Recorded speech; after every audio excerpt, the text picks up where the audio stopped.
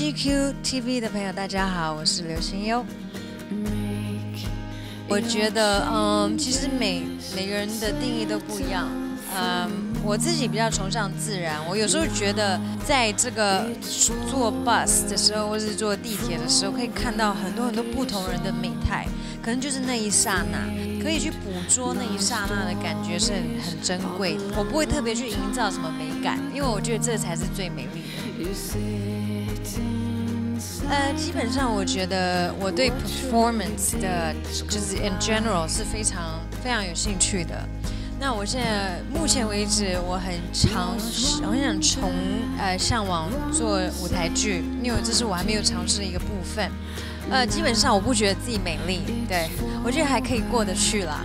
那我觉得，呃，constitute 美这个定义，或者说让人家觉得你有美感的时候，就是要很多方面配合的。但是我觉得相由心生，这是最重要的。P.S. I love you，我觉得这是很重要的，因为，嗯，可能我们现在人用简讯，常常会很快就会处理一些事情，你会觉得好像人跟人之间的距离变短了。其实有一些重要的话都没有讲到，所以